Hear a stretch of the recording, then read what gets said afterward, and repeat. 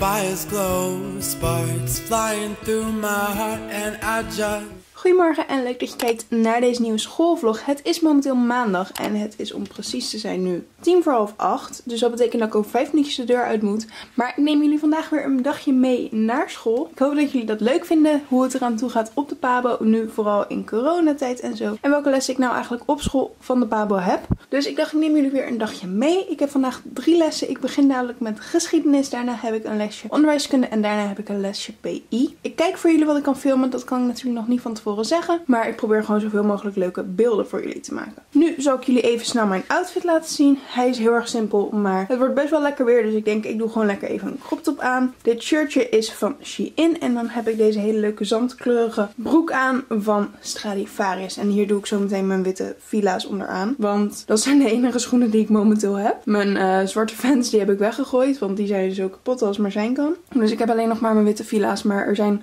schoenen onderweg, maar die zijn nog even niet binnen. Dus daar moeten we nog even op wachten. Maar goed, dit is dus mijn outfit of today. En nu gaan we snel mijn tas inpakken, want ik moet de deur uit. We zijn op school aangekomen. Ik ben erg vroeg, want uh, mijn bus reed heel erg snel. Dus ik had een metro eerder. Dus het is nu nog 35 minuten wachten tot mijn eerste les begint. Maar ik denk dat ik gewoon even iets van koffie ga halen. Ik wilde eigenlijk muntthee halen. Ik hoop trouwens dat je me hoort met de wind. Maar ik wilde muntthee halen. Maar dat was er niet. Dat was op. Of in ieder geval, dat was nog niet binnen. Dus dan gaan we het maar doen met koffie.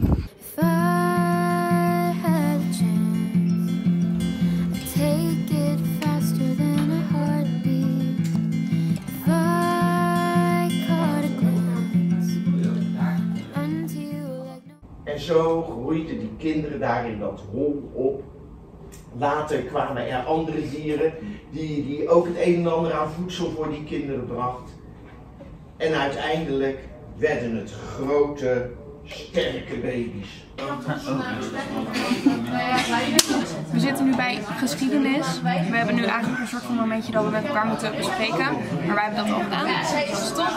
En nu zitten we te wachten tot de les verder gaat. En dat kan elk moment. Look up from your telescope, take me on this journey home. I don't wanna wait no.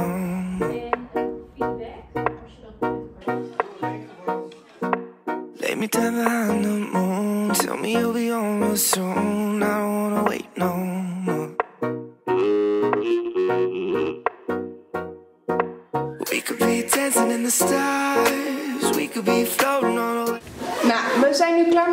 Lessen. Dus ik heb nog even mijn fles gevuld. En nu gaan we denk ik even de stad in om nog gezellig even wat te eten of iets dergelijks. Dus we gaan het zien, want de terrasjes zijn weer open. En het zonnetje schijnt nu, dus daar gaan we van genieten.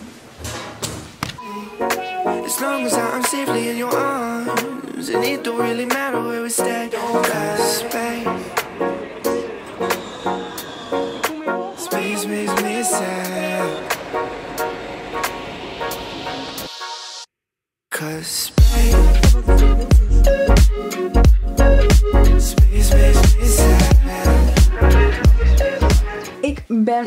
weer thuis. Het is ondertussen alweer 5 voor 6. Dus het was een lang dagje. We zijn lang in de stad geweest. We hebben even in een park gezeten. Lekker van het zonnetje genoten. Ik heb onder andere een milkshake op. En we hebben even iets lekkers gehaald om te eten. Dus dat was heel erg gezellig. Ik hoop dat jullie het een beetje leuk vonden hoe ik jullie heb meegenomen. Ik kon natuurlijk niet in de lessen filmen. En vertellen wat we allemaal deden. Want dat is een beetje ongemakkelijk. En zo comfortabel voel ik me nog niet met vloggen. Maar we hebben dus als allereerste les hadden we geschiedenis. Daar hebben we het over de Grieken en Romeinen gehad. En hebben we een opdracht moeten uitvoeren en daar een korte presentatie over moeten geven. Daarna had ik de les onderwijskunde. Daar hebben we eigenlijk voornamelijk geluisterd. En hebben we een soort van placemat opdracht moeten uitvoeren. Dus dan moet je allemaal dingen opschrijven. En wij hadden het onderwerp faalangst gekregen. En daarna had ik het vak PI. Dat is eigenlijk een soort van mentorles. Daar kan je het mee vergelijken. En daar hebben we eigenlijk het gehad over onze kennisclips. Wat is een kennisclip? Een kennisclip is de opdracht die we hebben gekregen voor thema 8. En thema 8 heet onderzoek, creëer en verwonder. En een kennisclip zijn eigenlijk de opdrachten die we moeten gaan uitvoeren. We moeten dit thema 5 kennisclips maken. Vooral er de 5 lesweken. Want elke week moeten we eigenlijk een kennisclip maken, creëren en onderzoeken. Hierin moeten we theorie verwerken die we die week hebben gehad op school. Moeten we lessen verwerken, onderwijssituaties van stage, et cetera, et cetera. En daar moet je eigenlijk een soort van vlog van maken. Dus ik vind het natuurlijk een hele leuke opdracht. Um, ik had jullie graag alles willen laten zien hoe of wat. Maar ik weet niet in hoeverre dat natuurlijk kan. Um, dus ik ga jullie zo meteen een klein stukje laten zien van een kennisclip die ik afgelopen week moest maken. Dat was de allereerste kennisclip, dus hij is nog niet optimaal en perfect natuurlijk. En hiervoor krijg ik dan ook nog geen cijfer. Ik krijg namelijk pas voor kennisclip 5 een cijfer. Dus de allerlaatste kennisclip. Dat moet dan ook een video zijn van 10 minuten minimaal. Maar ik denk dat dat wel gaat lukken. Want ik moest afgelopen week een video van 2 tot 3 minuten maken. Uiteindelijk is die 4 minuten geworden. Omdat ik echt, ik red het gewoon niet. Ik had tijd tekort. En jullie weten, ik hou van lange video's maken. Mijn video's zijn vaak best wel aan de lange kant.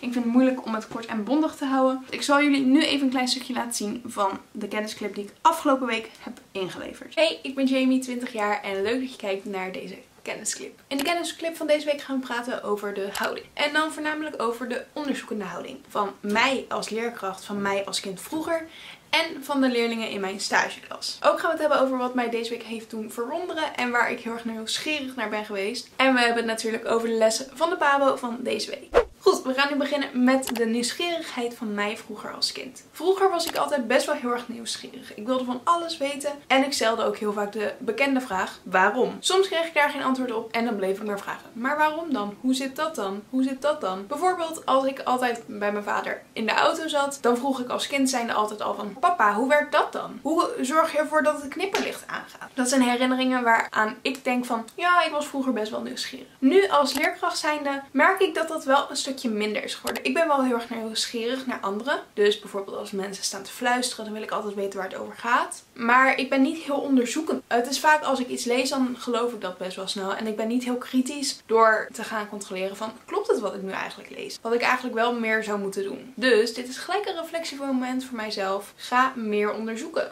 En dan hebben we het over de houding van de leerlingen van mijn stageklas.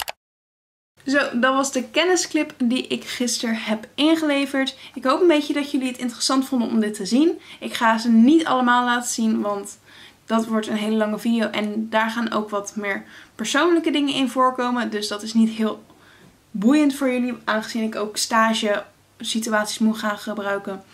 En dat kan niet vanwege privacy redenen. Maar goed, Maakt niet uit, ik heb nu wel een klein stukje laten zien. Dus ik hoop dat jullie het interessant vonden.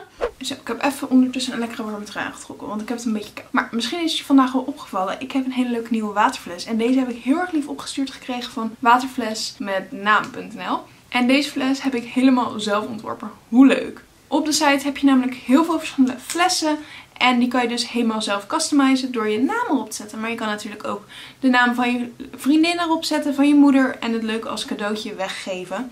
Je hebt op de site dus allemaal verschillende kleuren, verschillende lettertypes en je kan het gewoon helemaal naar je eigen smaak ontwerpen. Nu is een eigen waterfles niet alleen heel erg mooi, maar het is ook heel erg praktisch. Want ten eerste is het een stuk goedkoper dan elke dag een flesje water kopen. Wat natuurlijk al super slecht voor het milieu is, maar ook niet heel erg gunstig is voor je portemonnee, want het kan aardig oplopen. Maar het is gewoon heel slecht voor het milieu om elke dag een flesje water te kopen. Dus ik vind het heel erg belangrijk om de natuur en het milieu een handje te helpen door mijn eigen waterfles mee te nemen. Het is voor mij een kleine moeite. Het bespaart mij heel erg veel geld. En je helpt het milieu natuurlijk heel erg. En wil je nou ook zo'n superleuke waterfles? Ontwerp hem dan zelf op de website van waterfles met naam.nl.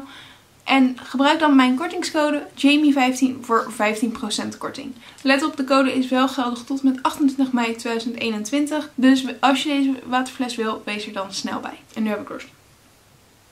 Zo, ik ben lekker even naar mijn bed verplaatst. Want dat zit gewoon even wat lekkerder. En ik ga lekker even YouTube filmpjes kijken en lekker relaxen. Ik heb namelijk nog wel nu een paar dagen vrij. Het, ja, het is heel gek. Ik heb een lesdag gehad in, midden in de vakantie soort van. Ik had een week meivakantie. Toen had ik op maandag, dus vandaag had ik les. En nu heb ik de komende dagen weer gewoon heel de week vrij. En dan heb ik daarna gewoon weer een hele lesweek. Dus het is een beetje raar. Maar nu kan ik dus gewoon lekker rustig aan doen. Ik heb niks wat ik moet doen. Dus dat is heel erg fijn. Ik heb wel even geholpen met het verwijderen van behang in de woonkamer. Dus daar ben ik even mee bezig geweest. En nu ga ik lekker relaxen. Dus dit is dan ook het einde van deze vlog. Ik hoop heel erg dat je hem leuk vond. Vergeet dan zeker geen duimpje omhoog doen. Vergeet niet te abonneren op mijn kanaal. Hier beneden klik gelijk even op dat belletje. Zodat je weet wanneer ik een nieuwe video plaats. Volg me ook even op Instagram als je het leuk lijkt. En dan hoop ik je te zien bij een gloednieuwe video de volgende keer weer. Bye!